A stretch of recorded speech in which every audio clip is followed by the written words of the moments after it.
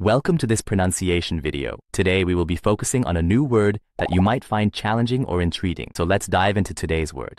Vorgehensweise, which means procedure or approach to accomplishing a task or solving a problem. Let's say it all together. Vorgehensweise. Vorgehensweise.